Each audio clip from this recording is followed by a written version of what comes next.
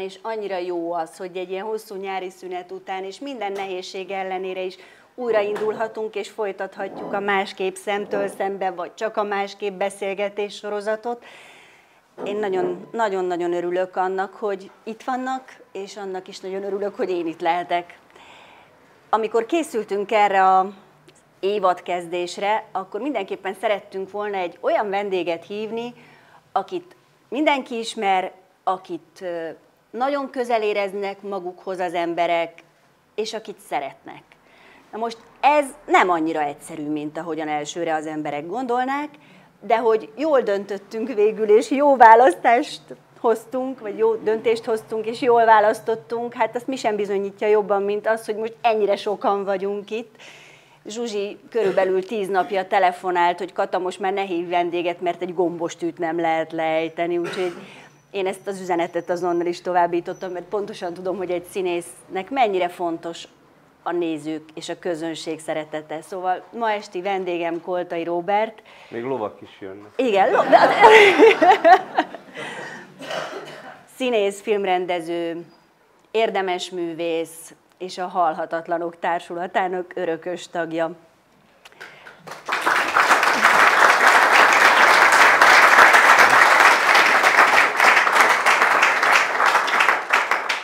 Az emberekben a színészekről többnyire az általuk játszott szerepeken keresztül kialakul valamiféle vélemény, ami nagyon gyakran köszönő viszonyban sincs a, sincs a valósággal. Nem a tehetségünkről, hanem úgy a személyiségünkről, hogy mi milyenek lehetünk.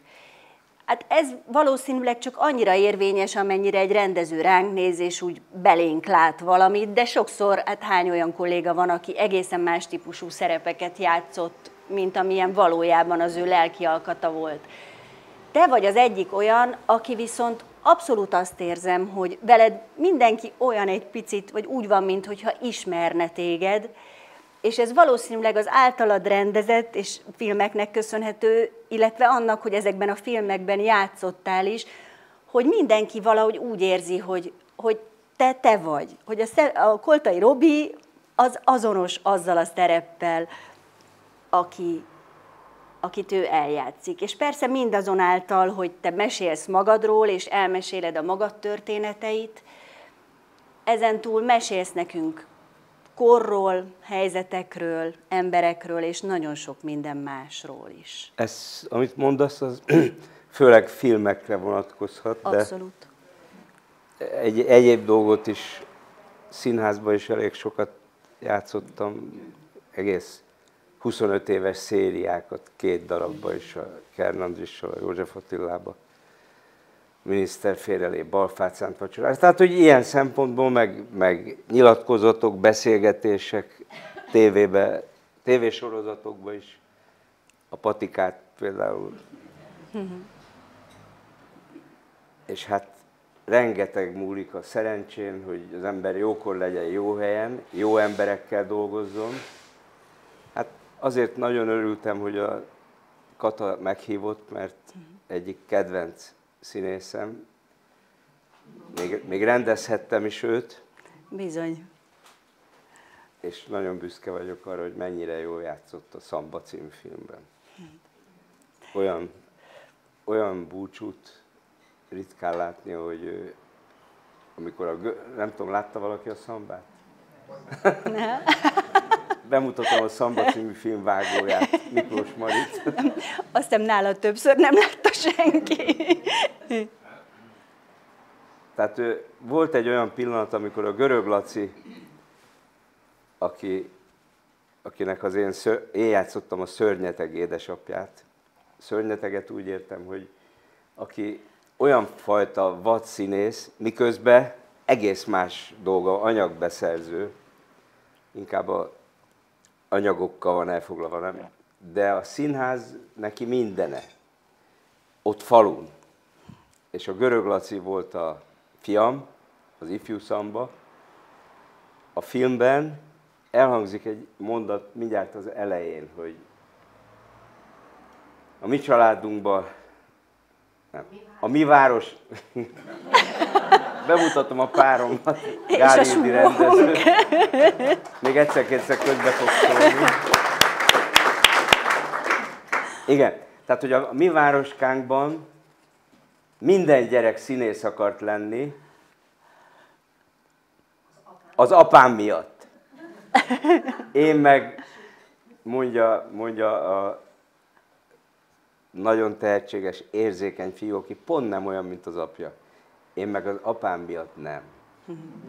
Tehát ez volt, hogy a többi, mert nagy bohóc a papa. Látta valaki a szambát?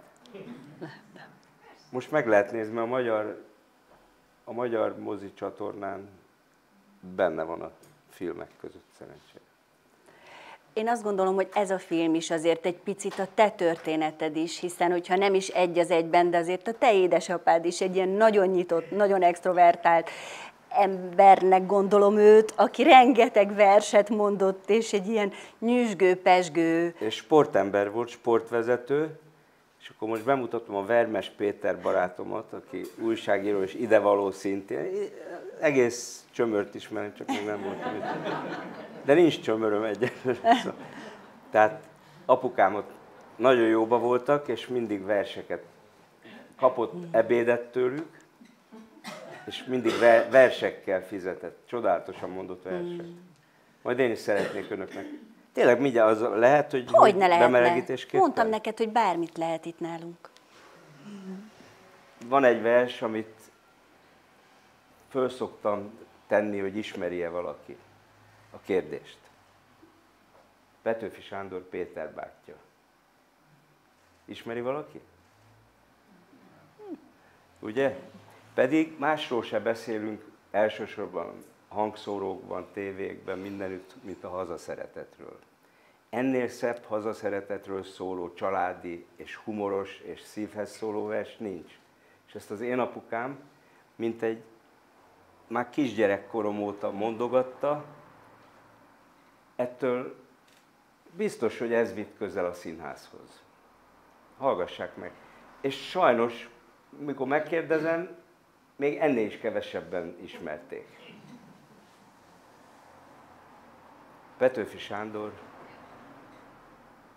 Péter bátyja. Tíz katona esett a helységre. Nem volt szükség fogdosó kötélre.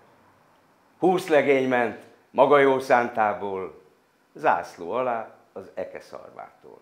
Hogy nem mennénk örömest, mikor kell.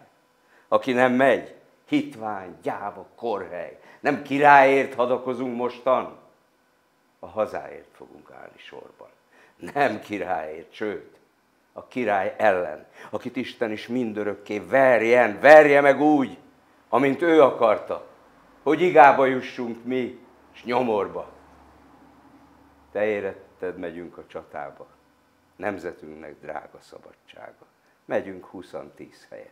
És ha kell, utánunk még kétszer annyi jön el. És összeálltak indulásra készen az újoncok a falu közepében. Körülöttök fiatalok, vének, hát gyülekeznek búcsúvétel véget. Az anyák, ez a természet rende. Isten őket már így teremtette, és ők szegények erről nem tehetnek. Hát az anyák szörnyek, keseregtek, sírtak, rít, vártak, mint az őszi felleg, fiaiknak, hogy elmenni kellett, elmenni ők és még oda pedig, ahol a halál vendégeskedik. Amint mondom, volt sok sírás, rívás. Hely, hanem úgy csak korán serít más. Egynek sem volt oly nedves kötény, mint kelmednek, szegény Panna néne. Hogy ne sírna? Három fia vagyon, mind a három szép szállegény nagyon, és mind a három be vagyon sorozva katonának, és ottan áll a sorba.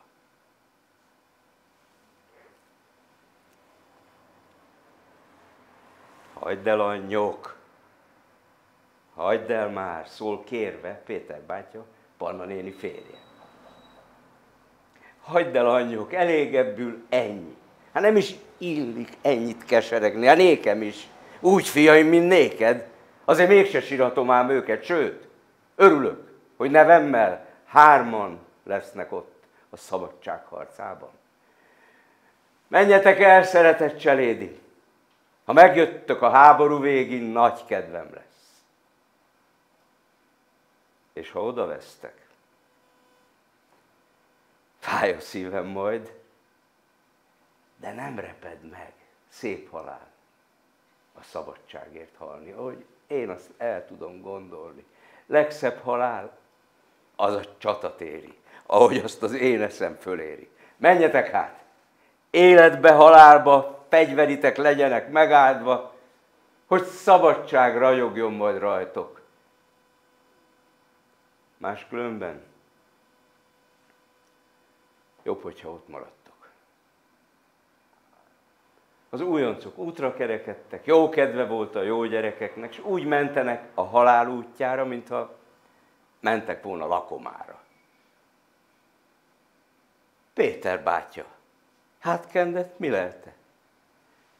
Olyan sóhajt majd kiszáll a lelke. Néz utána az újonc seregnek, és íme, íme könnyei peregnek.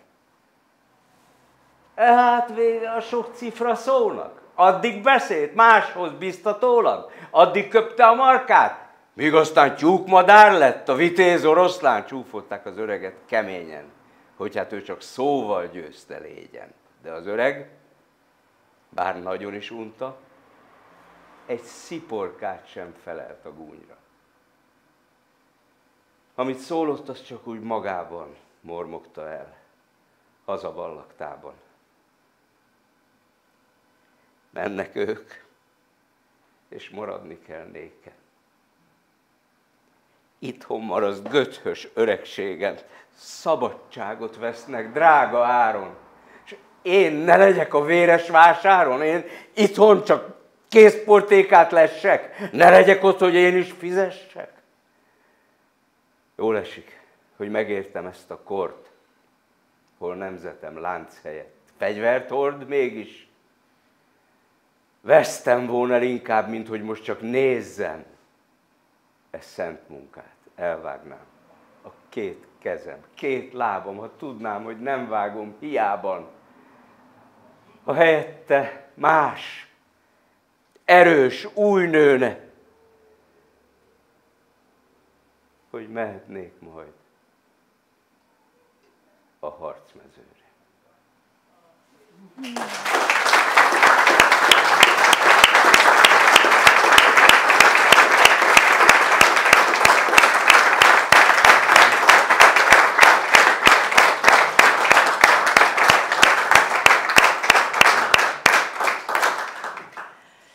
Talán ebből kiderül, hogy olyan szerencsés helyre születtem, bár sportcsaládba, mármint hogy apukám sportvezető volt, de hát ez volt, mindenkinek van a hobbija, neki a magyar versek, és azon belül is a versmondás.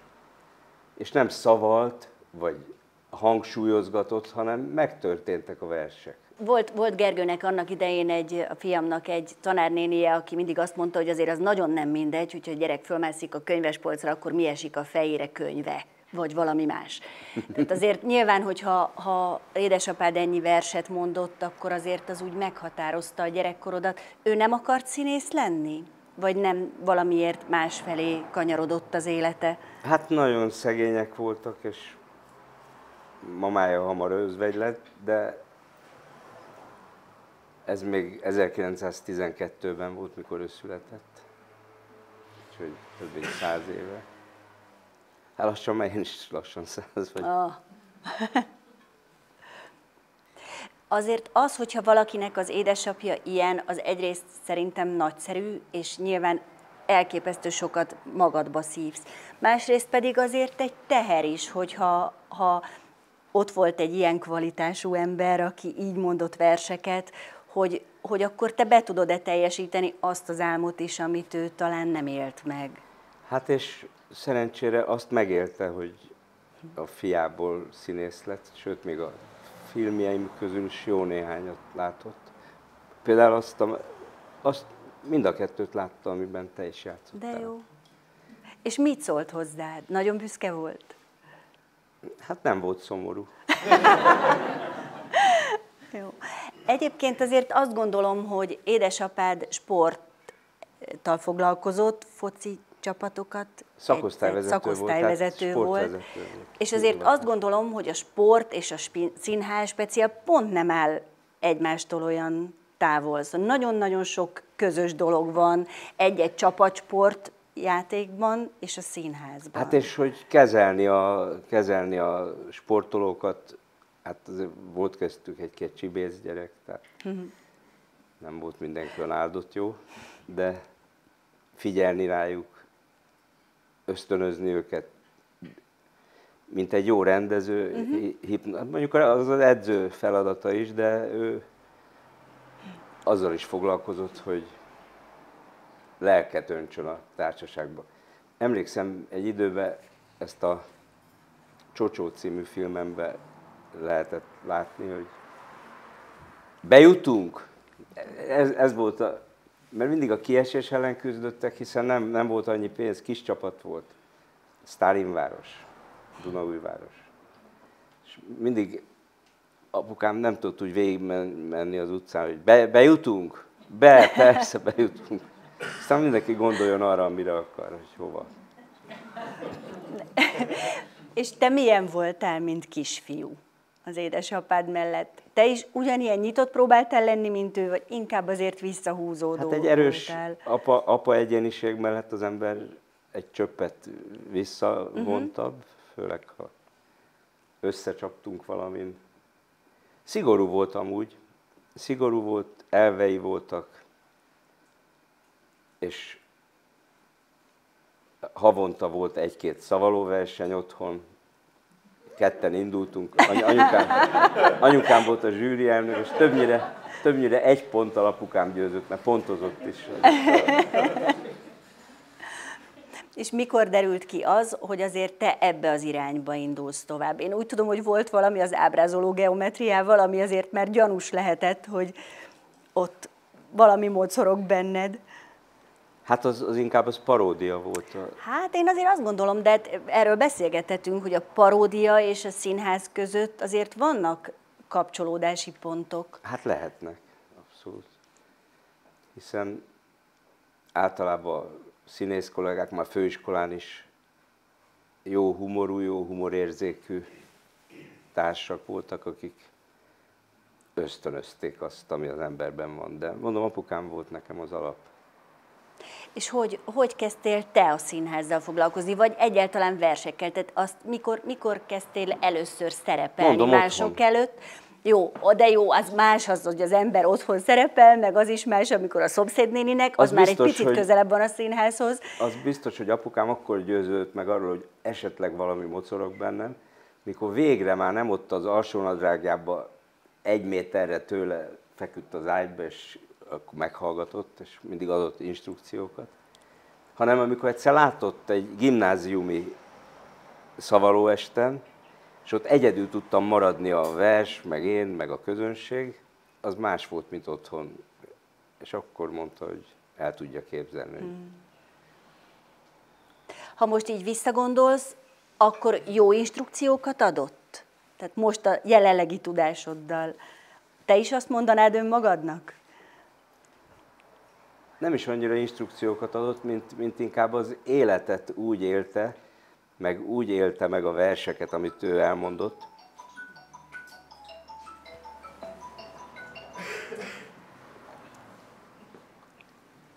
hogy az maga egy példamutatás volt. Uh-huh.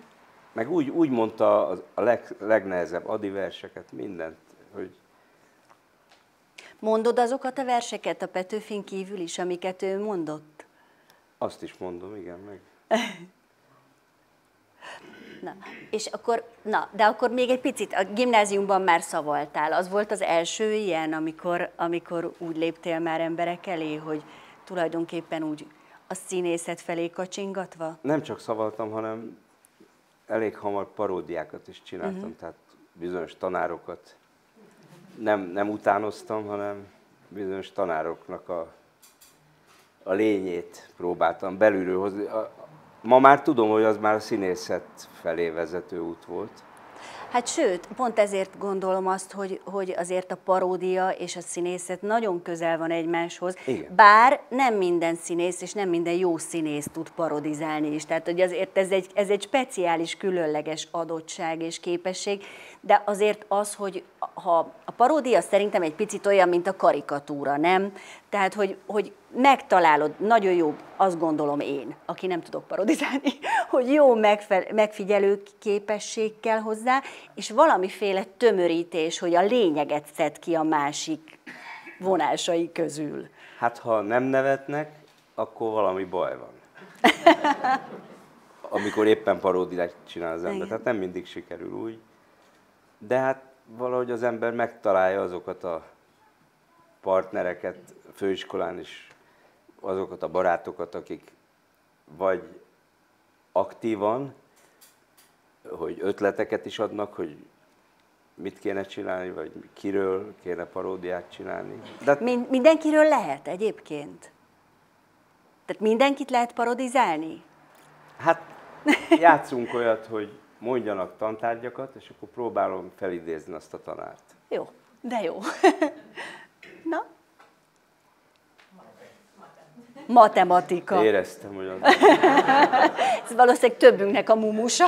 Volt egy 78 éves, én már rég elmúltam. Volt egy 78 éves icipici matek tanárunk, aki közölte a feltételeit. Uram, megmondom! Nyugdíjból hívták vissza, mert a fiatalabb tanárt kiüldöztük. Urak! Nálam az kap egyet, aki megtanulja a könyvet. Az kap kettest, aki annyit tud, mint én. Az kap hármast, aki annyit tud, mint Einstein. Az kap négyes, aki többet tud, mint Einstein. És azt kap ötöst, aki csontot hoz a kutyámnak. Figyelem, figyelem, golyókat az asztalra, hereberre lesz. Mindenkit kihereberélek, főleg azt a mocskos, piszkos, hátsó gyungert. Azt hiszed, beülsz a legutolsó papba középen, akkor már nem így... Ott valaki jön. Óra alatt ne járkáljatok gyerekek ki. Akkor már nem is látnak, azt hiszed, jó hiszed. Na. Lengyelország főváros, ez a hülye gár. Ezt egyszer egy földrajztanár mondta. Magyarország úgy alakult ki, ez, Nem baj, ez megérkeztél, én ez, a lényeg. Igen. Éreztem, hogy itt vagyok. Geológiailag Magyarország úgy alakult ki, hogy először is figyeld a kezem, az életben nem fogod megérteni. Magyarország úgy alakult ki, ez a tanár tényleg hülye volt.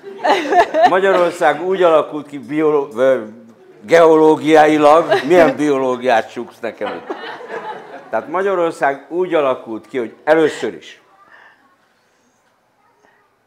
Pólyás babák kisárnak. Magyarország úgy alakult ki geológiailag, először is megsuvadt,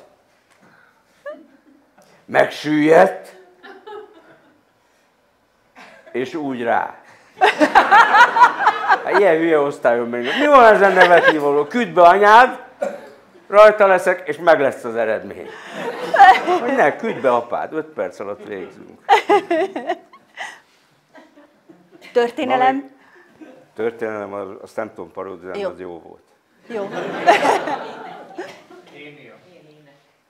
Az még jobb volt. Az Kossuth Díjas volt, csak, csak a forradalom miatt tették le egyetemről a giminkbe. Dr. Bolgár Ferenc. De a Ma- többit tudom. Magyar. Irodalom. Akkor mondok még egy verset.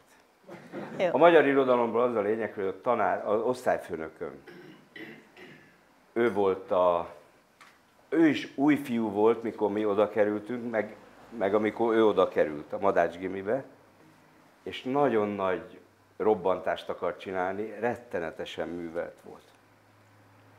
És ennek okából minden rész dologba, az osztályba indultunk a Madács kupáért.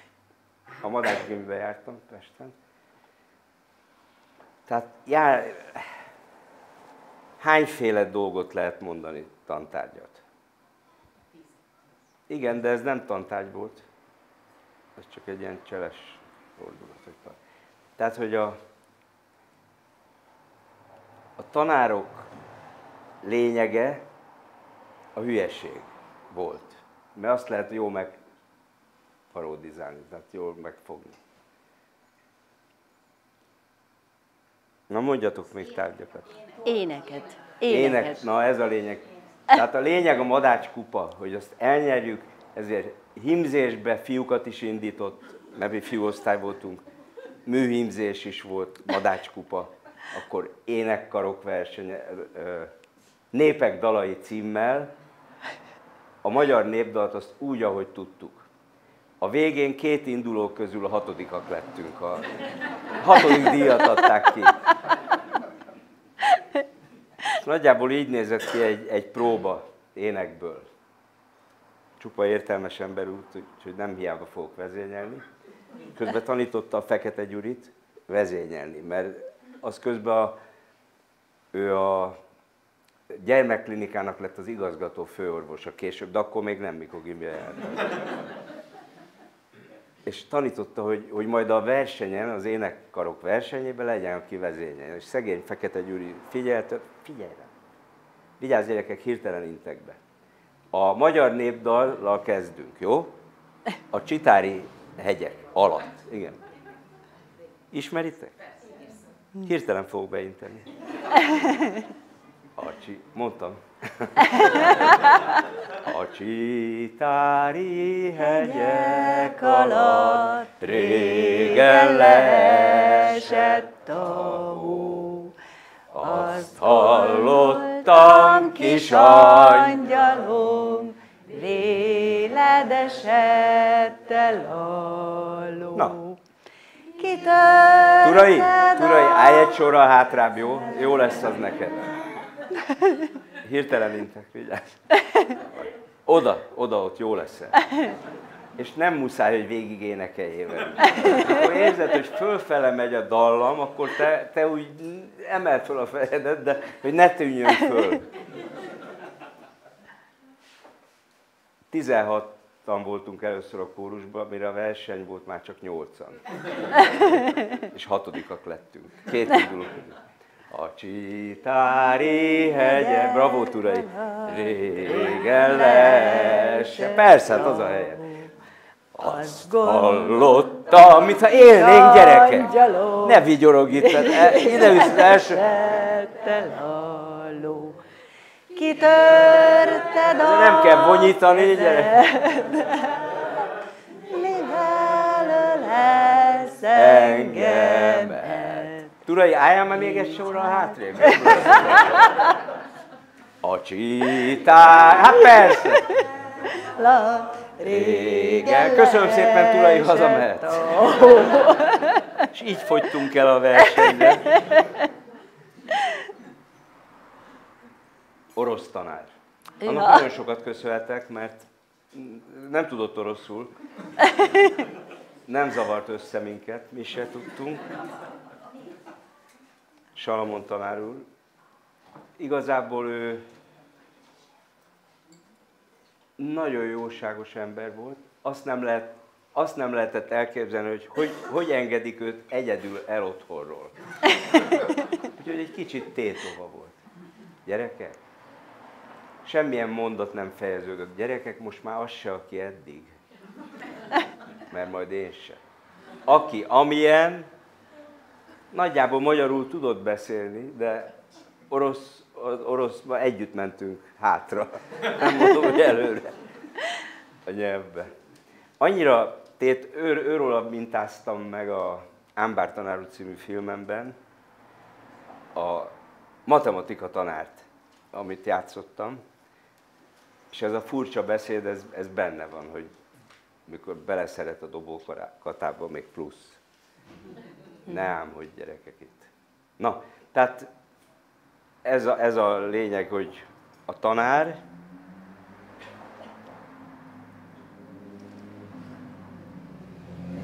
itt forma egyes valami. Hogy? Tudom.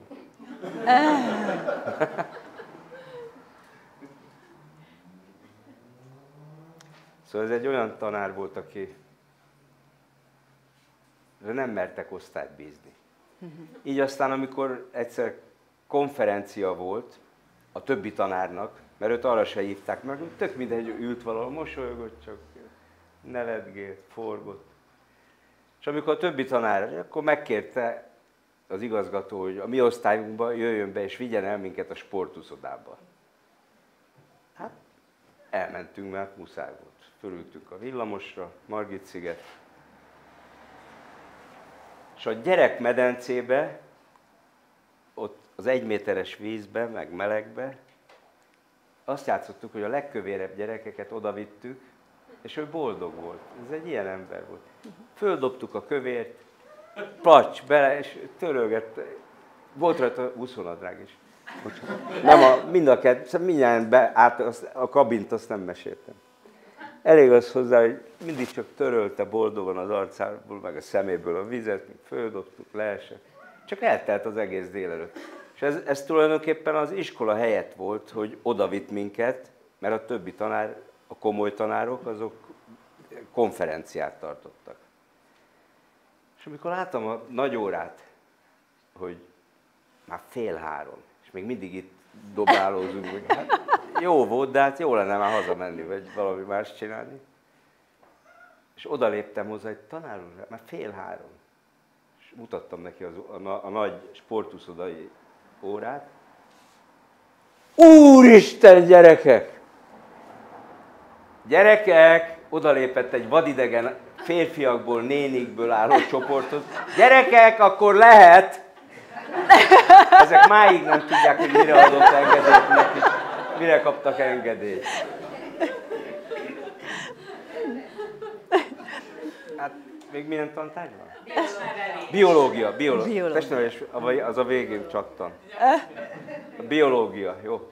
Tehát volt egy, egy olyan biológia tanárunk, aki szenzációs volt. Egy kis olyan dolog, amivel nem szeretek foglalkozni, amúgy kis testi hibája az volt, hogy 9 centire kilógott a foga. És ettől rengeteg víz képződött az alsó ajka meg a felső ajka között. És nem volt, amikor tovább mentünk, magyarázott, vagy pláne, hogyha megsértődött. Két helyről jött a víz a szájából, meg a szemé. Mindig sírt. Tehát például mindig, amikor elkezdek beszélni, majd tovább megyünk. Új anyag. Hát az a legnagyobb boldogság egy igazi tanárnak, hogy, hogy, hogy az új anyagot átadja. Na de hát milyen rohadék az osztály, tudják. Amikor elkezdem az új anyagot, akkor kezdjenek, de nagyon finoman csak beszélgetni. És mindig vegyék észre, amikor megsértődik a tanár. Jó, Jó és akkor egy picit legyen csend. Tehát ahogy én elkezdem, akkor... Tehát elmúlt órán megbeszéltük a kromoszómát, hogy a zigóta az új spórasejt betülemkedik, alá megy, mint egy elfoglalja a helyét, Körülbelül csúrdogált minden. A, szem, a szeme, és itt is sírt, meg itt. Tehát, mint mondottam, a kromoszomák nem egyszerűen csak körbe fogják azt a kis hajlatot, és alá mennek, és mint egy el, el, me, belemerülünk szinte. Tehát ezt mondottam, a kromoszomák és a zsigóta alulról átfogja, meg, megtámogatja, Hát komolyan mondom! Kicsit egy jó érzésű ember, kortejtem, menjék ki az osztályból, legalább be se írlak, átengedni, csak hagyja engem, Tani, Tani! Én meg boldog voltam, hogy mehetek haza. Azt mondta, hogy menjek haza, és be se ír, átenged. A, a jobb haveroktól elköszöntem, sziasztok. Ezzel ő, ő meg sírdogáltotta. És ezt mondta, hogy nem írlak be, átengedlek, csak hagyj engem tanítani. Ehhez képest három nap múlva jött a félévi vizsg, ö, bizonyítvány. Hát ez a, az ellenőrzőbe beírt. Rovót, egyest adott, pedig nagy plénum előtt megígérte, hogy átenged. Biológiából. És biológiából megbuktatni valakit, hát... Úgyhogy nem csak azért voltam elkeseredve, hogy mit kapok otthon, hanem azért, hogy nem játszhatok jövő szerdán, mert aki megbukott, az nem játszhatott az iskola válogatottban. Márpedig, és most kapaszkodjanak meg a székeikbe, meg a asztaljaikba, 5 percig a Madás gimnázium csatársora így állt fel. Nem tovább, de 5 percig így állt fel. Vadász, a csatársor. Tudják, a hetes. Koltai, 5 percig. Már tegyen nem tettek be hosszabb időre. Vadász, Koltai, Albert, a Flóri. Hoppá. Molát, Gyulai. Öt percig. Hát én ott rúgtam két luftot.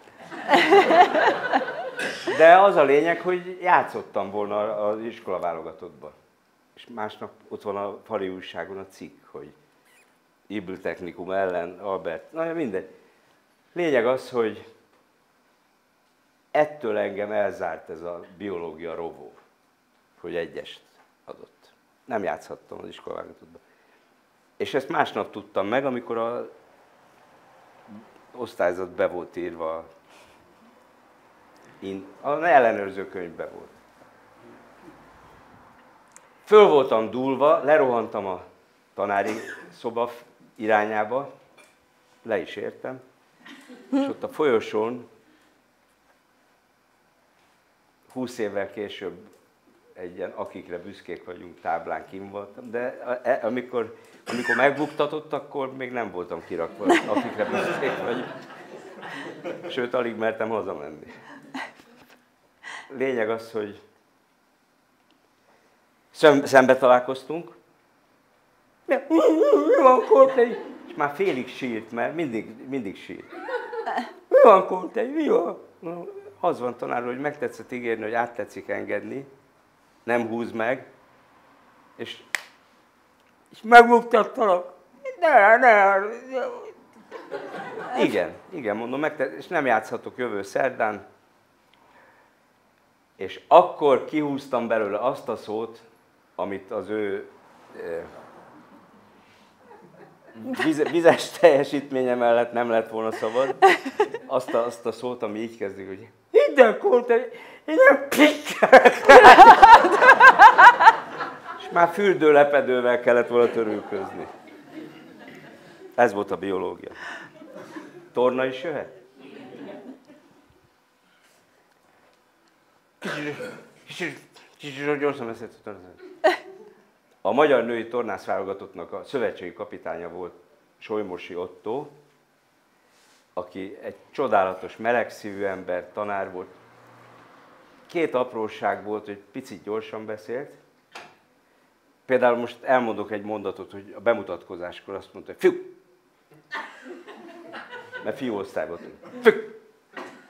Tessék, köpkék, torna, és fejezve, fő van vixelve. Utólag kiderült, hogy azt mondta, hogy testnevelési órára csak is középkék tornanadrágban és fehér, cipőbe, fehér talpú cipőbe jövünk be. Fel van vixelve. Ezt közölte. Na most ő, akikre igazán harag... Ja, még egyet. Ez most ez nem fontos, hogy bemutatkozás, most bemutatkozásképpen módon, ütök, pofozok. Ütök, verek, pofozok, ez azt jelenti. Megmondom, én, én, én, én ütök, verek, pofozok. Az, az, az, akit szeretek. Engem imádott. Igen, mert különösen dühös volt, akik felmentést kértek. És nem volt ilyen A, A1-es felmentés, talán valaki tudja, hogy betűvel látták el a felmentést, hogyha valaki... Itt nem, nem helyes, hogy eléd állok. De nyugodtan. Nem látod a közönség. Akkor téged család. Tehát, hol hagytam magam? Hogy? Az A1-es. Ja, A1-es mente, a mentesek. A mentesek amúgy is pipa volt. Én meg általában otthon felejtettem, ebben az inkriminált esetben is otthon felejtettem a szerelést, és a tornaóra kint volt az udvaron, álltam a, álltam a távolugró gödörbe, és szórakoztattam az osztályt. Már mert a fél osztály nem hozott. És azokra amúgy is pipa volt nagyon a tanár úr és épp utánoztam talán a földrajztanárt, nem tudom, amikor ha, megnyugtató hallatszott, hogy egy, kettő, egy, kettő, egy, kettő, egy, ment a gimnasztika. Én meg elutálom el a kromoszómák, ez igaz, mindenféle csináltam, és egyszer csak csönd lett. Nem hallatszott többet az, hogy egy, kettő. És oda néztem, és így állt a tornatanár, aki ütök, verek, pofod. Ajaj. Na mit mondtam? Koltai Dobosi. A Dobosi volt az az osztálytársam, aki később a Tordjánnak lett a személyi titkára, de akkor még nem volt az. Kutatós! Hát ment, mentek a poénok, a rögések, és akkor kihívott oda. És mind a kettőnknek megfogta a pajeszát, az eléggé tud fájni, és az ő magassága az mérten a legmagasabbra fölemelte, és onnan jött a leszakadt, amikor, amikor fölértünk rendesen, akkor puf jött a pofon. Aj. És ezt megcsinálta háromszor, négyszer. És egyszer csak látom, hogy a dobosi, a tordjának, pedig akkor még nem is ismerte a tordját, halára röhögi magát. Miközben emelte a fejét a tanár. Röhögsz, kis, kis röhögsz, kis öreg. Ezt mondta csak kicsit gyorsabban. Röhögsz se, röhögsz kis, röhögsz kis. És közben az volt a búcsúzás, a, a számnak a vége, hogy így összecsapta a fejünket. Nagyon nagy erővel, többször. Tehát a, előbb kokit adott, ezzel a kidolgozott női torna izmaival, tehát már női tornászokat edzette, Koki összeütötte a fejünket. És azt látom, hogy a dobos jobban röhög, mint addig. És a szünetben megkérdeztem, te mi, mi röhögtél? Mi, miért röhögtél ennyire? Mert én egész másra voltam elfoglalva. Te nem láttad, milyen pofát vágtál, miközben kaptam ezeket a retteneteket. Ebből a kis Jó. paródia kupacból azért több dolog is kiderült. Egyrészt azt, hogy, hogy Meg azért... átadom a szót neked most már. Jó, egy picit beszélek, de aztán visszaadom, jó?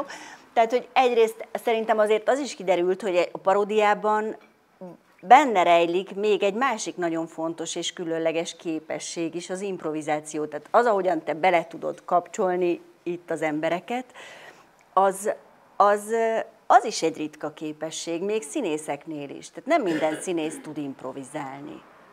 Pedig azt hiszem, hogy minden színész improvizál, úgy az igazi, hogyha minden este kicsit más történik. Csak egy picit más. De nem azt jelenti, hogy teljesen átfordítani a darabot, vagy de, de egy filmnél például létfontosságú. És nem is lehet akarni, de színházban is mondjuk ilyen szempontból a film nagyon más, de színházban ott, ahol estéről estére játszod ugyanazt a szerepet, hát meg belegárgyul az ember, nem hogyha estéről estére pontosan ugyanazt játszod. Nem, maga a, a az improvizáció a készenlétet jelenti szerintem. Uh-huh. És nem bír kétszer egymás után tök ugyanolyan lenni valami szerintem. Azok is improvizálnak, akik ezt nem, nem tudják magukról. A másik, ami eszembe jutott, miközben most az előbb hallgattalak, hogy azért nagyon szerethettek téged az osztálytársai, tehát azért az osztálybohócát azt mindig szeretik. Az igen, de nem, nem mindig hálás szerep, ha a jegyeimre gondol. Most azért is próbáltam egy picit itt a bohótság felé terelni a beszélgetést, mert olvastam, hogy édesapád szeretett volna bohóc lenni, fehér bohóc, és közben azt gondolom, hogy az, amit látok, amiket te csinálsz, meg hát főleg a filmekben, amit játszol, hogy az ember azért szereti nagyon a bohócot, a fehér bohócot, meg téged, mert hogy tulajdonképpen ebben a csetlő-botló kisemberben, ebben a túlélni próbáló lényben, aki ott ügyetlenkedik, azon egyszerre nevetünk, meg sírunk, de miközben nevetünk, meg sírunk, tulajdonképpen önmagunkon nevetünk, és saját magunkat siratjuk, nem? Hát, miután én eléggé aktív voltam ebben, én nehezebben látok rá, hogy pont mi, de, de lehet, hogy jó helyen kopogtat. Minden esetre van azért ebben, mert minden filmedben azért benne van az is, hogy mint ami a színház, hogy nem kell azért ezt ennyire komolyan venni, hogy nagyon komolyan kell játszani, de nem kell azért olyan nagyon komolyan venni mégis az életet, meg a dolgokat. Számomra mindig ez valahogy ide, ide fut ki a dolog közben meg a világgal valami egészen más dolog történik. Egy olyan világban élünk, ahol mindennek jelentősége van, ami mérhető, ami komolyan vehető. Tehát, hogy, hogy ho, hova tűnik ez a fajta játékosság belőlünk, nem belőled, belőlünk. Szép gondolat sor. Én most visszatérnék inkább oda, amit abba hagytam. Rólad róla. Jó, hogy... dicsérhetsz engem is tovább, hogyha gondolod. De azt nem mondtam végig, hogy az a jelenet, amikor a, ugye az öreg szamba, én voltam a papa, az öreg szamba a fiát próbálja a színészet felé terelni, ott a helyi színészet felé, és te játszottad a, hát az akkori mennyasszonyát. Hát a, lehet, lehet, a, a fiatalkori szerelmét. Igen. És van egy jelenet, amikor érezhető a jelenetből, hogy ő megígéri, hogy minden rendben, fölmegy Budapestre felvételizni, és búcsúzkodik, mm. és ahogy állsz ott a kerítésnél, könyvbe szemmel, és tudod, hogy ez az életben nem jön vissza többet. És az benne van, szöveg, ez, ez, ez benne a legszebb, hogy semmilyen szöveg nem kellett ahhoz neked, úgy átállott, hogy tudtad, hogy na, ez volt az utolsó. Hát most én is visszanéztem a szambát újból, nagyon-nagyon régen láttam ezt a filmet, de most, hogy a beszélgetésre készültem, visszanéztem, és több szempontból is megrendítő volt, és nagyon szép nekem. Egyrészt azért, mert egy filmet, amit az ember hosszú ideig nem nézett meg, azt mindig rizikós visszanézni, vagy megnézni. Egyrészt magam miatt, mert hogy ott az már egy olyan végleges dolog, és nem, nem tudok rajta változtatni, tehát hogyha nem vállalható, ez már akkor is úgy marad.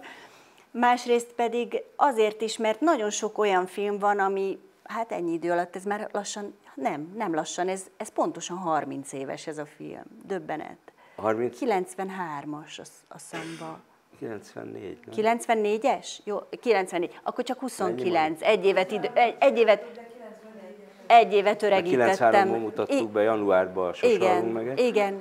És ez lett a második És ez film. lett a második film. De hát tulajdonképpen 93-ban elkezd, kezdtük már talán Nyarán. csinálni. Na mindegy, ez tulajdonképpen mindegy, hogy 29 vagy 30, szóval hogy azért ez már régen volt. És hogy nagyon sokszor van, hogy valami, amit én megnéztem annak idején, az egyszer csak eltelik egy csomó idő, és egy, úgy olyan lesz, hogy, hogy hát ilyen igen, igen, de úgy picit elmegy fölötte az idő. És most, ahogy megnéztem, azt éreztem, hogy egyáltalán nem, tehát hogy ez ugyanúgy érvényes, tehát valami olyasmit találtál ott meg, ami, ami nem kopik, Másrészt pedig, és ez, ez számomra most, ahogy megnéztem, még, még egy plusz réteget nyitott a filmben, hogy rengeteg olyan kolléga van benne, aki már nincs itt.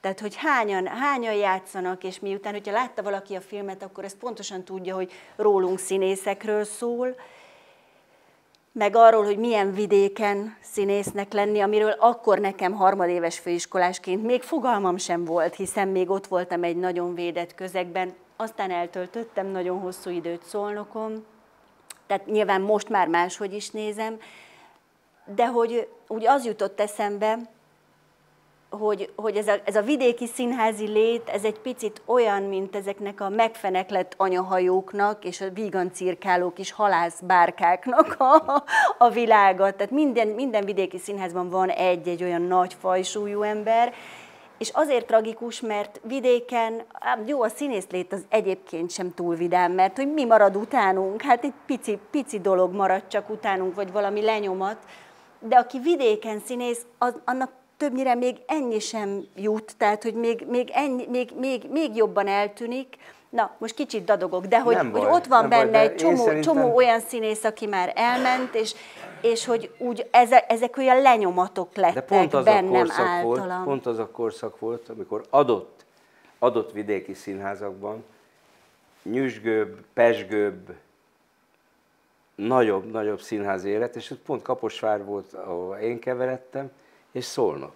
Igen. Tehát ott, ott is elindult valami új, valami más.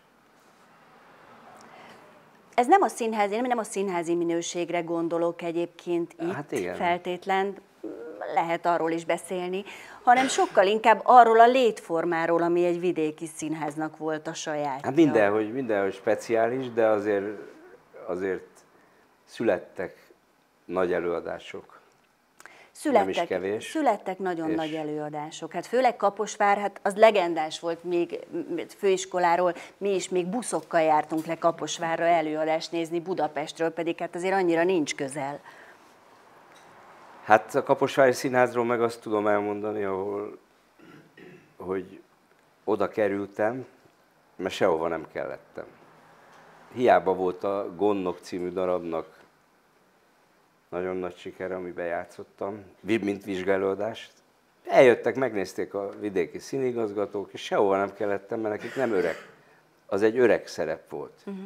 És nem azt nézték, hogy Hogy te fiatal vagy, csak öreget játszol remekül. Hát igen. Nem is a remek a lényeg, hanem hogy... Hát azért az se De elhanyagolható. a vidék, de, de a lent az élet, amikor csak annyi, hogy bemegyünk a próbára, aztán este előadásokor bemaradunk a büfébe. Aki olyan, az iszik egy kicsit. Aki Igen. olyan, az sokat. Aki olyan, az rengeteget. Nem, nem, ott nagyon kell tudni az emberek vigyázni, meg szerencse kell. Nekem az volt a mázlim, hogy nem dohányoztam, Uh-huh. nem igen, nem igen ittam. De azért egy-két sör volt. És hogy egy csapat összejött, az, az, a, az a csúcs, hogy ott vagyunk a világ végén, és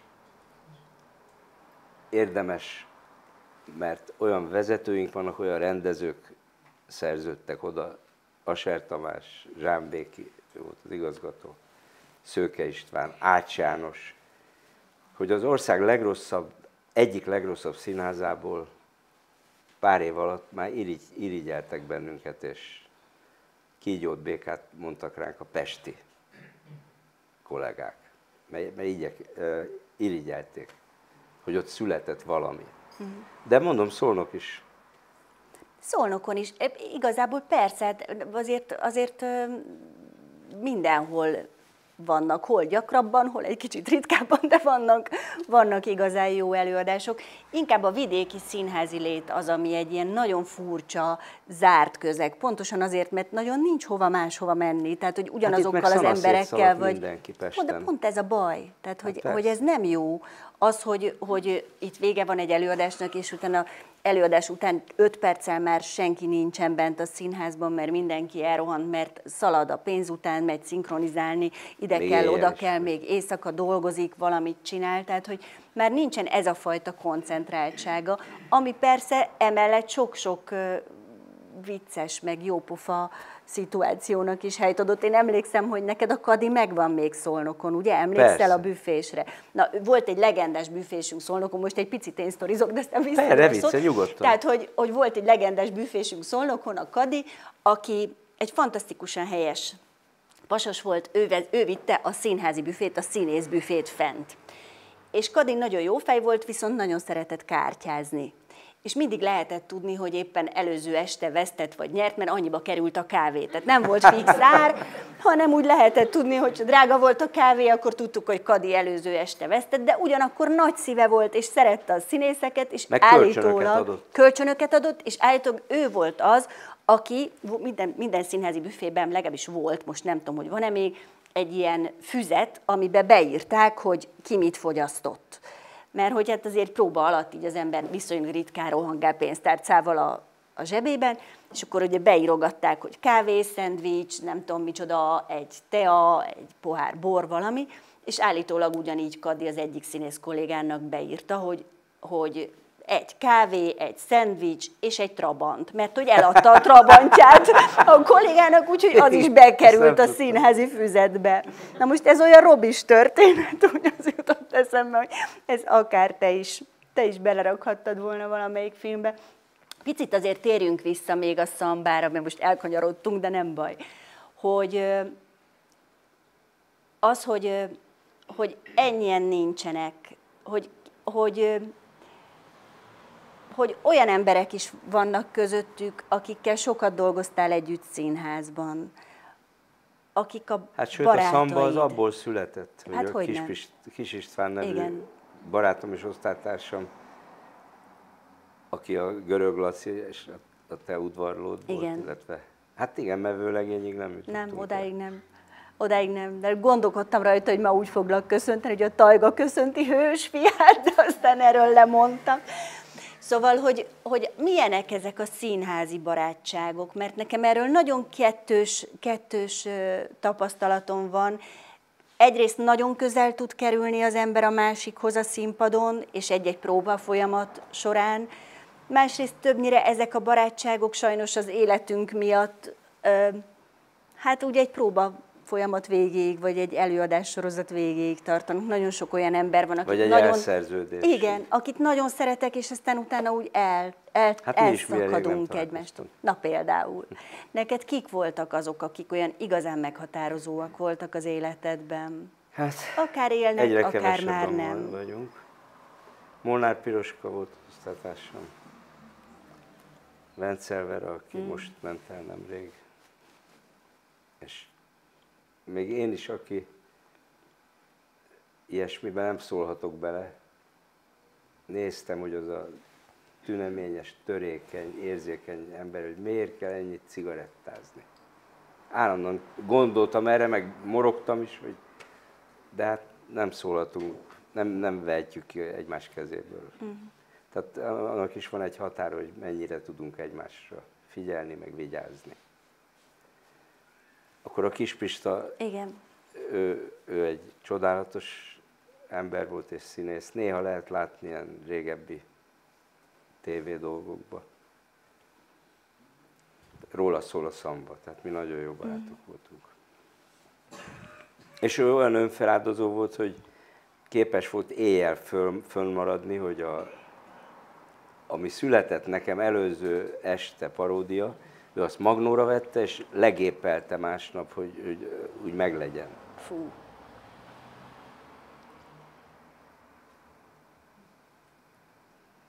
És hát gyönyörű, gyönyörű volt. Azt érzem, hogy van, van, van itt egy könyv, ezt megmutatom önöknek is, én ezt most elolvastam ám. Itt a társszerző. Igen, Gál Ildikó és Koltai, Koltai Róbert, a te könyved, de hogy közben, közben eh, én azt gondoltam, hogy ez rólad szól, és ez a könyv rólad szól, de úgy szól rólad, és ettől különösen szeretem, és különösen benne leszel furcsa mód te is, hogy mégse csak rólad szól, hanem rajtad keresztül szól egy csomó mindenkiről, pályatársakról, emberekről, és amiért külön nagyon szerettelek, hogy egy csomó olyan emberről is írsz, akik a háttérben maradnak egyébként. Tehát, hogy nincsenek a mozivásznon, nem láthatóak, de mégis azt tudjuk, hogy egy színházban mennyire fontosak. Ez volt a második könyvünk. A harmadik? Harmadik. Ja, a második könyvünk az Én kabarém című volt, és most lesz a negyedik, ez, ezt már az Ildi egyedül írja. Mm. És mondom, hogy Koltai 80 filmes könyv. Ó, oh, De, de még nem vagyok 80. Decemberben leszek. Szóval, hogy kik, kik voltak azok, akik, akik így a háttérben voltak, és, és mitől olyan meghatározó egy színházban, mert én nekem ez természetes, de azt gondolom, hogy az emberek többségének nem az. Mitől olyan fontos egy jó öltöztető, egy jegyszedő, egy büfés? Minden olyan dolog fontos, amitől jobb leszel. És azt nem mindig lehet patika mérlegen kiszámolni. Tehát, hogy jó emberek vegyenek körül, és a jó munka. Tehát a jó munka, ami meghozza a közönséget, egyáltalán meghozza, és a jó közönséget. Tehát, hogy fel, mi felneveltünk Kaposváron, régebben volt, hogy el kellett hagyni ipari tanuló bérleteket. Uh-huh. És pár év múlva volt ilyen, hogy megyek az utcán, és szembe jön egy ilyen hosszú hajú srác, ilyen jampiszerű. Te, egész jó a színázatok, meg te is. Így gratulált az utcán. Ez, ezek nagy dolgok. Hogy akik... Hát hogyne. Hogyne. És Kaposváron egy egészen különleges. Erre mindig gondolok, hogy rendezőben, vezetésben és színész anyagban az ország egyik legrosszabb színházából a legjobb uh-huh. lett. Nagyon sok színész van, aki, aki a pályája egy pontján megpróbálkozik a rendezéssel, de főként a színházi rendezéssel. Olyan azért nagyon kevés van, aki, aki filmet csinál. Neked ez hogy lett? Én nem filmet akartam csinálni, csak mindig a nagybátyámnak, nagybátyámról mesélgettem, aki elég érdekes szenvedélye volt ez a lóverseny. Aztán ez nem apai örökség, ez nagy, nagybáty örökség, hogy én is beleestem egy ideig, pár tíz évig. Egyáltalán a szerencsejáték. Uh-huh. Tehát olyan élete volt, hogy a családnak egy vész, vészforgatókönyv, hogy egy ilyen ember van a családban, uh-huh. akit hol ettől kellett apukámnak megmenteni, aki sokkal kevesebbet keresett, mint ő a válfás. De neki mindig nagy szövege volt, nagy dumája, engem nagyon szeretett, és anyukám majd belehalt, mikor elvitt egy turnéra, ilyen válfa eladók körútra, és ebből lett a ebből lett a film. tulajdonképpen azért mondjuk egy, egy filmet megcsinálni, mert egy színész azért, hogyha egy színpadi előadást rendez, ez se törvényszerű, hogy azért, mert valaki színész attól tud rendezni, azért az egy másik szakma.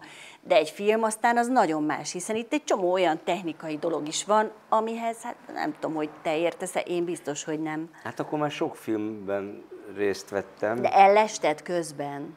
Hát, ezeket a fortéjokat, vagy csak ebben nem nagyon ragadt? hiszek, ebbe, ebbe, a, ebbe nem nagyon hiszek, hogy el lehet lesni valamit. Hát játszottam olyan szerepeket is, amik erős szerepek voltak, fontos szerepek, és, és valamit biztos megéreztem, meg, meg történetem volt. De Mert én nem, nekem... nem, most nem a színészi részéről beszélek, hanem sokkal inkább arról, hogy hát ott azért bizonyos dolgokat tudni De arra kell, hogy, ja, hogy, akkor nem hogy én a legerősebb, a legerősebbnek a, az, hogy aki filmet rendez, az, az egy történetet el kell, hogy meséljen. Uh-huh. Ami hat az emberekre, ami megtörténik, ami nem csak megtörténhet, hanem tényleg meg is történik velünk a moziba. És hát ez, ez, ezt még álmodni se lehet, hogy, hogy egyszer csak ebből tényleg lesz film. Ja, és akkor én mondtam a csodálatos rendezőnek, a Simó Sándornak, aki a producer volt, aki vállalt, fölvállalta, hogy, hogy de hát neki az volt a kérése, a Sose alul meg az első filmemnél, mm-hmm. hogy az a, az a kérése, hogy fogta a kezébe a papírlapot, ami a szinopszis volt, tehát a rövid történet, mit, mit szeretnék elmesélni. Mm-hmm.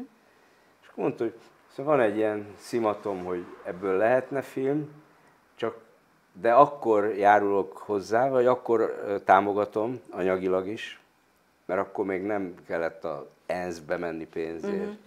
Vagy a, nem tudom hova, hanem volt, hogy a, a stúdió támogathatta. Uh-huh. Csak akkor támogatom, hogyha nem csak rendezett, hanem te játszod a Gyuszi bácsit.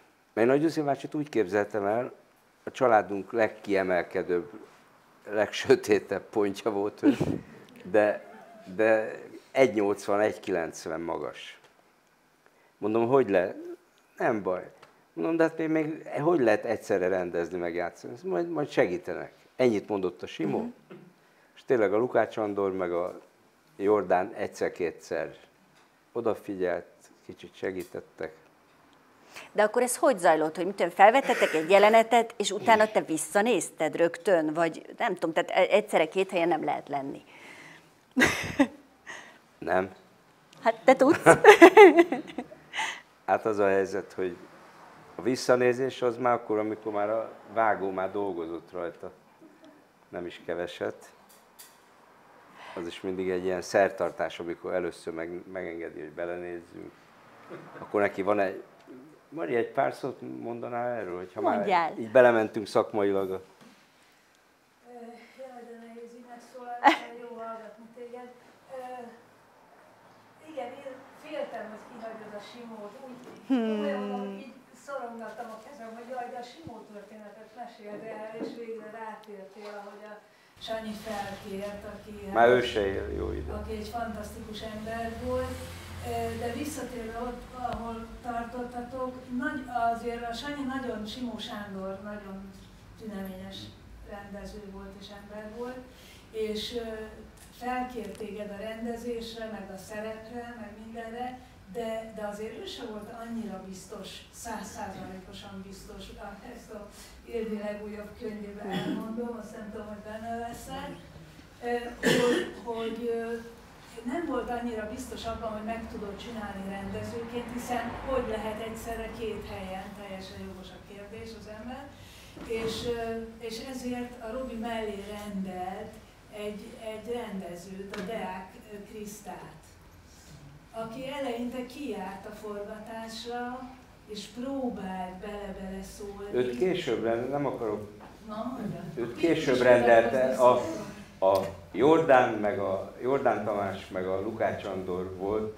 eleve adva, hogy majd ők segítenek. Ő is. Egyszer csak megjelent a Deák De. Deák Kriszta rendezőnő. aki rendszeresen bejárt a vágószobába is, és egy idő után sikerült őt meggyőzni, hogy nem kell, meg Mhm. lesz így a Robi egyedül is, és fantasztikus, és most tényleg magamról nem akarok beszélni, de elképesztően jó stáb alakult ki, és, és mindenkinek annyira szívügye volt ez a film, hogy, hogy fantasztikus operatőr volt, Halász Gábor. Halász Gábor személyében, tényleg elképesztő stáb volt, és valóban a Jordán is, meg a Lukács Andor is eleinte besegített, de aztán... Mármint a rendezőben, mert játszani leg, legnagyobbat azzal segítettek, hogy ahogy játszottak.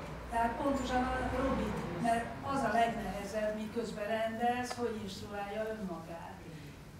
De aztán ebbe is nagyon jól belejött a Robi, és, és egy idő után az Andor, Andor is, meg a Jordán Tamás is abba hagyta, és egyedül maradt a Robi, és, és hát ez nem érződik a filmben. Izgultál? Ja, és a is Persze. A Dés Laci alap, alap dolog Abszolút. volt. Izgultál? Már munka Hát közben? amikor csinált, amikor elkezdted csinálni a Nem filmet, tehát azért volt ez egy idő. annyira új dolog. Nem nagyon volt idő izgulni, mert me- például úgy nézett ki egy nap, hogyha mondjuk hétkor volt a Dréfertig, vagy nyolckor, akkor egy órával előbb megérkeztem. Mhm. És akkor a asszisztens, a Balogh Kálmán mondta, hogy na Robi, akkor, meg a, meg a, Sipi. a La, Laci volt, szerintem, Sipi. Sipi. Már nem élőség. Tehát az volt a lényeg, hogy megérkeztem, akkor azt mondták, hogy nem sokára jönnek a többiek, a 20 szereplő, hogy játszam el én a jelenetet, a 20, 20 személyes jelenetet. És akkor mindig eljátszottam. De nem, nem ne úgy képzelt, hogy mondtam, hogy itt jönnek négyen, itt nem jön senki. Hmm. Azt főleg jól meg tudtam csinálni. Elég az hozzá, hogy játéknak fogtam föl. Mm. Nem tudtam komolyan venni, hogy ebből úgyis film lesz egyszer. Az, amikor, az, e- amikor színészrendezőkkel dolgozik az ember, én nem rendeztem sosem, de szín, olyanokkal dolgoztam sokszor, akik, akik színészként rendeztek. Szí, mi színészek, azt mi nagyon szoktuk szeretni, mert hogy egy színészrendező az sosem rendezőből instruál, hanem mindig színészből. Ugyanakkor azért ennek megvan a veszélye is, hogy aki olyan nagyon színész, akkor az kicsit úgy van, mint a Szent Iván éjjel álomban, hogy ide nekem az oroszlánt is, tehát tulajdonképpen az összes szerepet szeretné eljátszani, a férfi és női szerepeket belevéve. Tehát, hogy, hogy, hogy hol van az, hogy lehet megtalálni az egyensúlyt, hogy, hogy, hogy ne saját magadat akard viszont, lát, viszont látni, nem tudom, 25 példányban, vagy, hát. vagy hogy nem csak a te megoldásod az, ami jó. Hát mert az a házi feladat, az a feladat, hogy, hogy megszülessen a film. És akkor az emberek a saját vágyait, meg, meg bolondériáját kicsit háttérbe kell szorítani mm. olykor. Néha meg el, el, el, előbbek.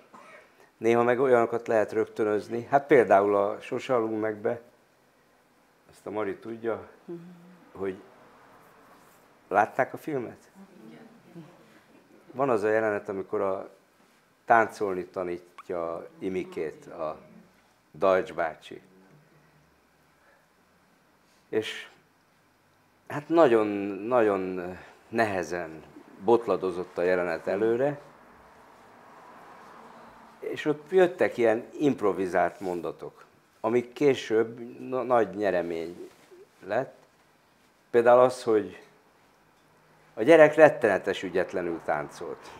Figyelj, figyelj, figyelj, figyelj a Dajcs bácsira. Ne bámészkodj jobbra-balra, figyeld a Dajcs bácsit, akkor nem lehet baj.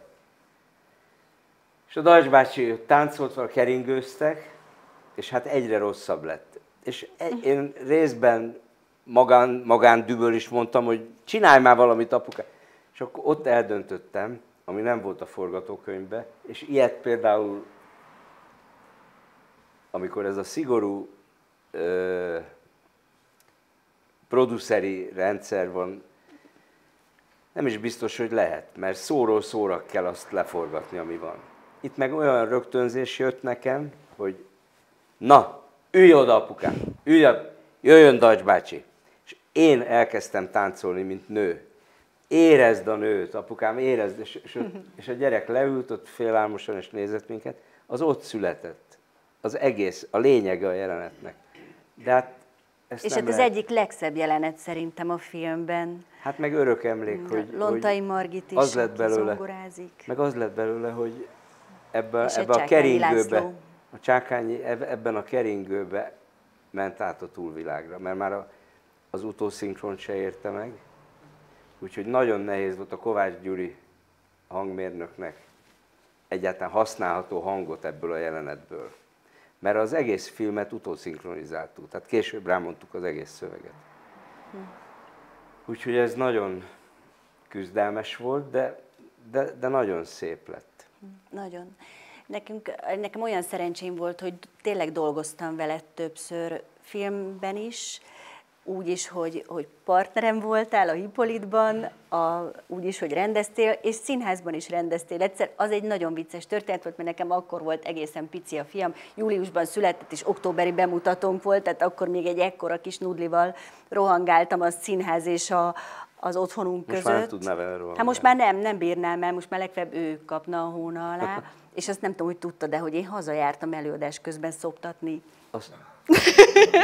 Na hát így nem, így nem lehet dolgozni. Na jó, mindegy, akkor most ezen lépjünk túl.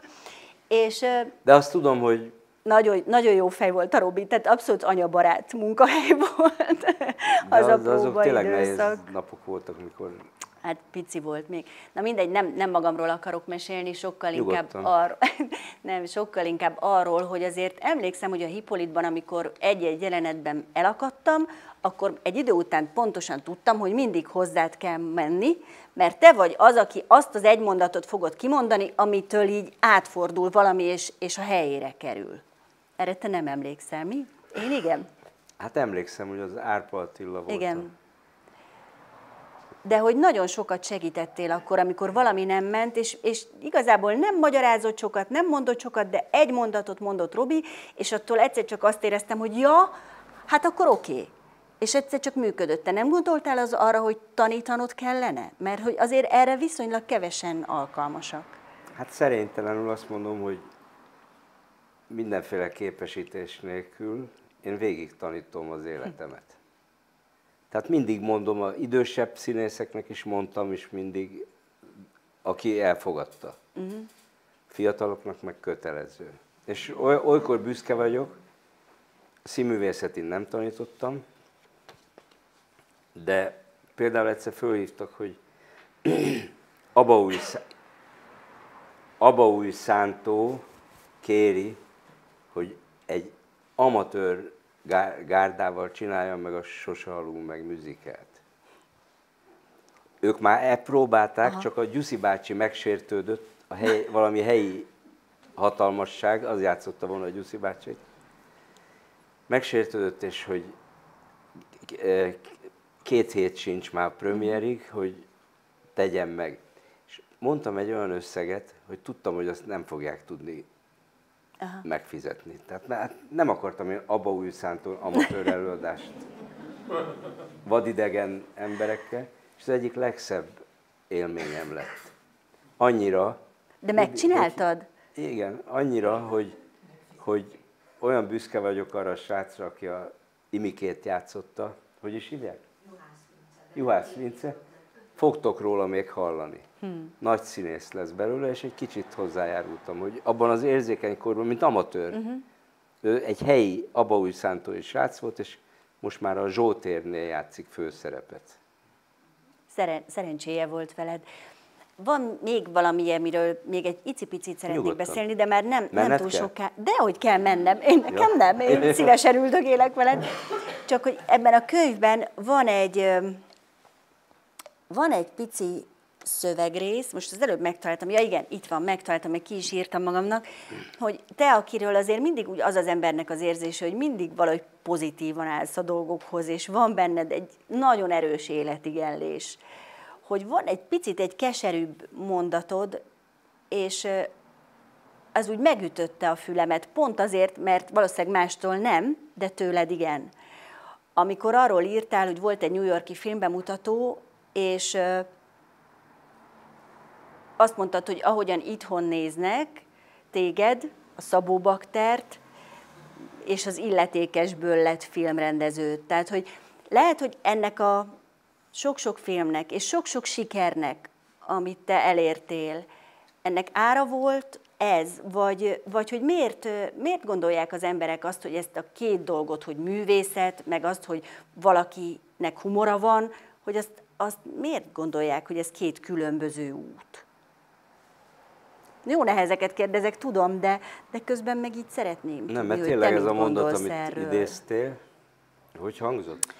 Hát azt írtad, hogy nem írtam ki az egészet, de azt írtam, hogy egy New Yorki filmbemutató kapcsán van egy keserű félmondatod, ahogyan itthon néznek, a ja, Szabó igen, Bakterből illetékesből lett filmrendezőre, igen, de nem, nem New. Yorkban, hanem itthon. Tehát, hogy arról írsz, hogy te kint voltál, Nem, és az, az, hogy én illetékes csináltam, bakterházat, meg nem tudom, így be vagyok sorolva bizonyos embereknél, meg bizonyos újságíróknál is. Aha.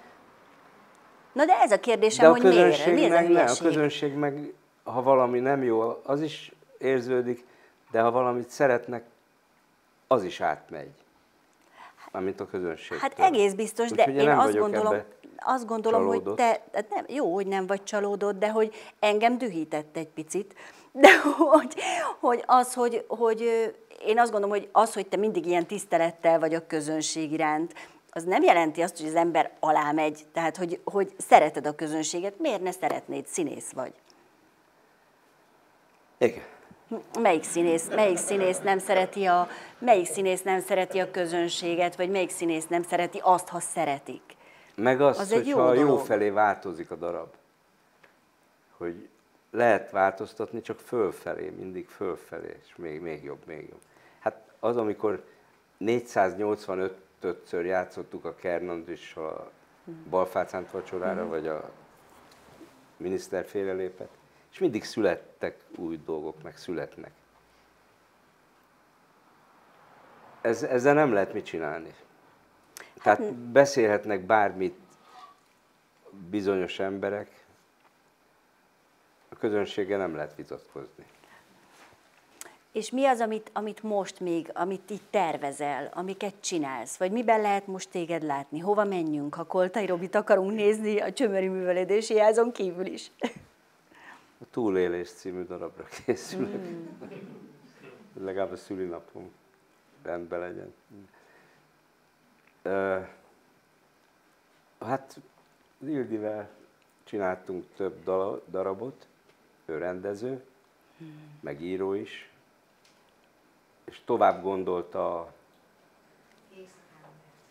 most eszembe jutott volna. A kékszakálú hercegvárát tovább gondolta, uh-huh. mert tudod, ott megrágalmazzák szegény kékszakálút, hogy Igen. Ő, meg, ő írtja a nőket. az a történet. És ebben az esetben, hát mondd el, Ildi.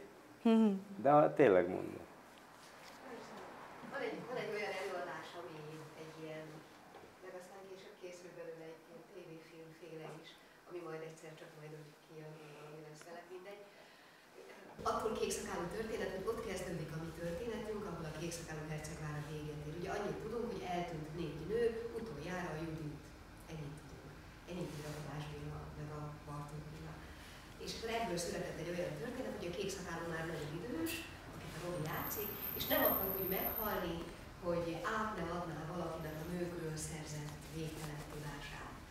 És egy visszaköltözik abba a házba, ahol utoljára az utolsó eltűnt nővel, Judittal élt, eh, és akkor egyszer csak betoppan hozzá valaki, akinek pedig egy ilyen gyerekkori, kamaszkori szerelem volt a Judit, és ez az Elek Feri, és az ő kettejük ilyen pszichojátéka, egy ilyen vodka játéka, ez az egész, Eh, tulajdonképpen ami arról szól, hogy az Elek Feri, vagyis ez a betoppant fiatalember alkalmas arra, hogy folytassa a kékszakálóságot. Ő ezt játsza, a fiatalember meg nyomozza az egykori Judit szerelem után. És nem mondom el, a végén nézzetek. Robi, lassan lejár az időnk, mert ilyen másfél órásek ezek a, ezek a beszélgetések, Menni és kell. képzeld el, hogy másfél óra eltelt, de én nagyon szeretném, nem tudom, hogy önök kérdeznek-e még, de azt, hogy mondjon még valamit, Robi, azt mindenképpen szeretném, ha még lehet ilyet kérni. Lehet? Hát verset szívesen Én mondom. mondjál, nem?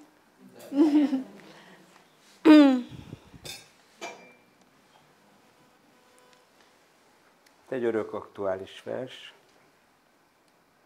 József Attila, Thomas Mann üdvözlése.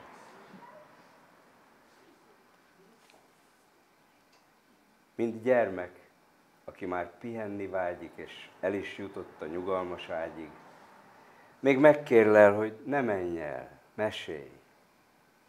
Így nem szökik rá hirtelen az éj, és míg kis szíve nagyot szorongva dobban, tán ő se tudja, mit is kíván jobban a meséte, vagy azt, hogy ott legyél.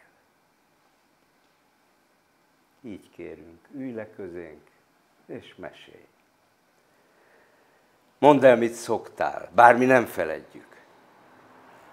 Mesélj arról, hogy itt vagy velünk együtt, és együtt vagyunk veled mindannyian, kiknek emberhez méltó gondja van. Te jól tudod, a költő sose lódít.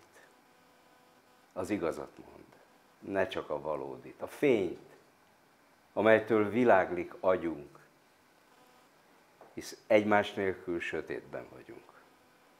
Ahogy Hans Kastorp, Madame Sosát testén, hadd lássunk át magunkon itt ezestén. Párnás szavadon át nem üt a zaj. Mesélj arról, mi a szép, mi a baj. Emelvén szívünk a gyásztól a vágyig. Most temettük el szegény kosztolányit, és az emberségen, mint rajta a rák, nem egy szörny állam iszonyat a rág. És mi borzadozva kérdezzük, mi lesz még? Honnan uszulnak ránk új ordas eszmék? Főe új méreg, mely közénk hatol. Meddig lesz hely, hol felolvasható? Arról van szó, ha te szólsz. Ne lohadjunk, de mi férfiak, férfiak maradjunk. És nők a nők, szabadok, kedvesek, és mind ember, mert az egyre kevesebb. Foglalj helyet, kezd el a mesét szépen. Mi hallgatunk, és lesz, aki csak éppen néz téged. Mert örül, hogy lát ma itt fehérek közt egy európai.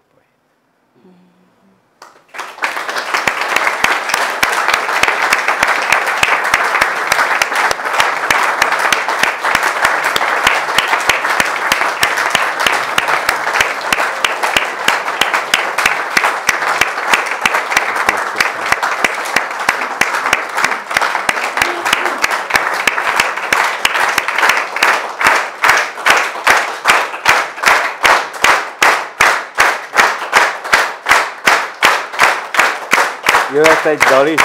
Jöhet egy dal is, persze. Jó, akkor jöjjön Énekelj. egy dal befejezésül. Mert hogy a dést nem lehet kihagyni. De csak így a cappella most, jó? Dés László zenéje, Nemes István verse, legyen úgy.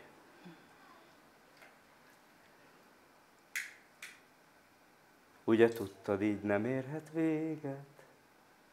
Csak hosszú volt ez az ősz. Ugye nem veszíthetlek el téged, és holnap majd visszajössz. Csak egy percig tart a sötét, csak egy árnyék lépett közénk, de mögötte már látjuk a fényt. Ami megtörtént ezen az őszön, azt nem felejthetjük el. Minden percét a szívemben őrzöm, és titkolom, hogyha kell. Még az arcod láthatom én, még a kezed nyújtott felé, ez a hosszú ősz, még az enyém. Legyen úgy, legyen úgy, ahogy eltalált a sorsunk.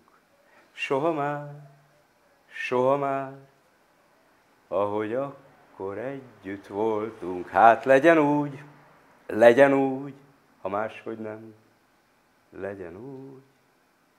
Ugye tudtad, így nem érhet véget, csak hosszú volt ez az ősz. Ugye nem veszíthetlek el téged, és holnap majd visszajössz. Csak egy percig tart a sötét, csak egy árnyék lépett közénk, de mögötte már látjuk a fényt.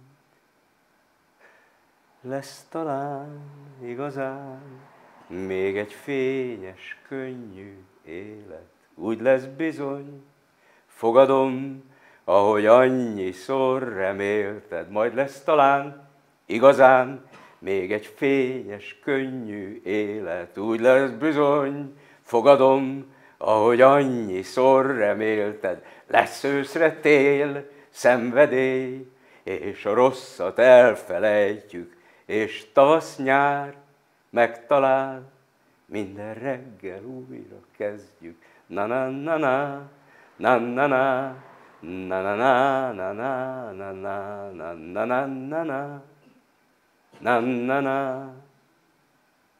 na na na na na na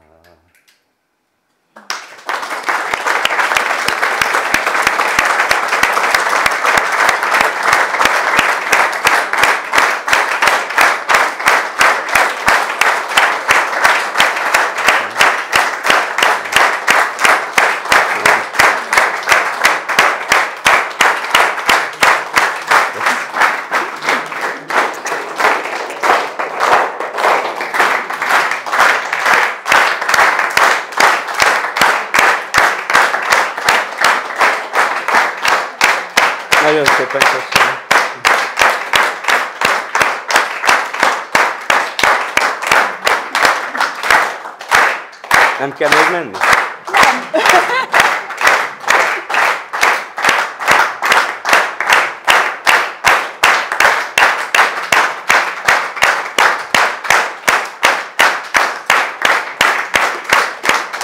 Még, akkor még egy verset elmondok. Mondjál, boldogok Meg kell vagyunk. hálálni.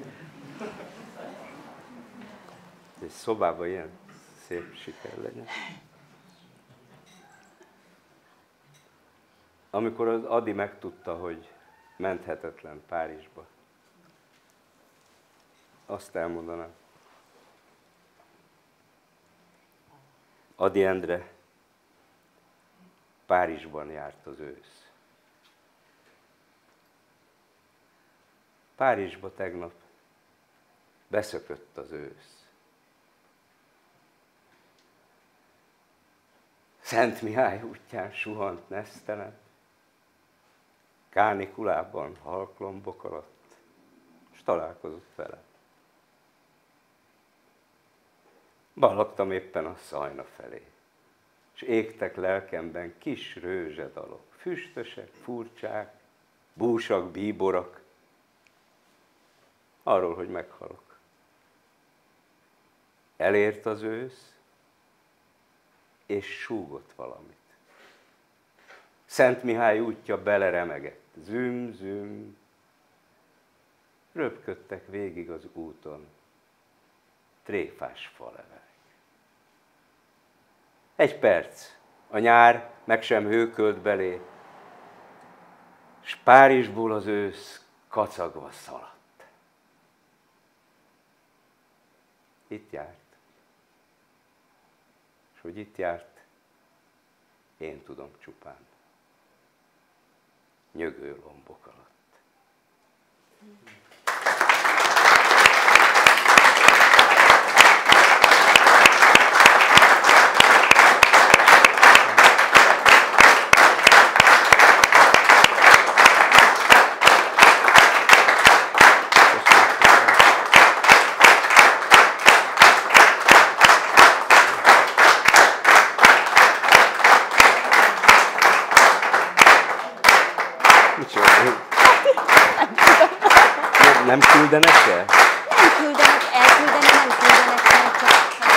Még egyet. De ígérjek meg, hogy utána jól, jól, jól viselkedek. Utána kérnek még. Hertai Jenő, a vénkocsis dala. Ez volt életem első sikere. Szó szerint a tévéből emiatt küldték el szegény Petres István, mert nem tudott rendet csinálni, mert a zsűri nem engedett tovább, és a közönség elkezdett tüntetni a bolgár kultúrotthonba. Tudják, így, így, így lehetett tovább jutni, hogy egy ilyen fölemelték, és a zöldet kapott, az beülhetett, akkor lehetett menni Helsinkibe. És a zsűri az, és pont az Asher édesapja, az volt a zsűri elnök.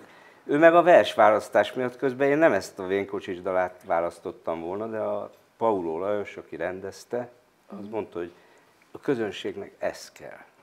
És azóta is én megpróbálok a közönségnek kedvezni, nem a, nem a zsűriknek, meg nem is a díjosztóknak itt-ott. Tehát a vénkocsis dala. Van nekem egy öreg lovam, meg egy rozzant szekerem. Jó időben, rossz időben, mindig vígan terelem. Semmi bajom, semmi gondom. A lovamnak csak azt mondom, gyűmadár, helymadár, és a többit tudja már. Napestig a bakon ülök, szundikálok, pipázok, jó időben sütkérezek, rossz időben megázok. Így megy ez már évek óta, nem változik már a nóta. Gyümadár, helymadár. Nem változok én sem már. Egyre vénebb lesz a szerszám. Nem tudta? Egyre vénebb lesz a ló. Kocsi húzni, utca futni, néki az már nem való. Így azután mindegy nékem. Van vendégem, nincs vendégem, gyümadár, helymadár. Se nagy haszon, se nagy kár. Válogatós úri népség a kocsimba be nem ül. Igaz is, hogy cifra rajta, nincs se kívül, se belül, nem is igen kínálgatom. Félrevágom a kalapom. Gyűmadár, helymadár. Megélek én így is már. Néha mégis beletéved egy szerelmes ifjú pár. Készülődök, kászálódok, gyűmadár és helymadár. Mire lassan neki vágok, világot. Gyűmadár, helymadár.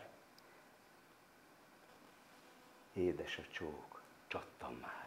Vén lovam is, ahogy hallja, a világnak nekivág, mint amikor a huszárló meghallja a trombitát, ahogy büszkén lépegetne, hát visszatér a régi kedve, gyümadár, helymadár. De sok csókot hallott már. Eszébe jut a lovamnak az a csók, és az a nyár. az a nyár és az az eskü, gyűmadár és helymadár, oly tüzes lesz, amilyen volt, a gazdája is ilyen volt. Gyűmadár, helymadár, bizony annak vége már. Jobb lesz nekünk lassan menni. Vén szekerem, vén lovam. Jobb lesz nekünk megpihenni, öreg idő, este van. Lassan menni, megpihenni, hogy ne bántson senki, semmi. Gyümadár, helymadár, mi már úgy kár. Hmm.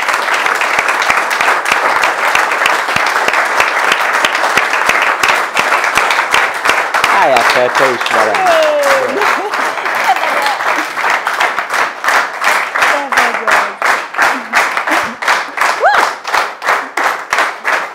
Milyen valami lehet? El, nem, a, a mikroport. Leesett a mikroport? Nem, az enyém. Fölállj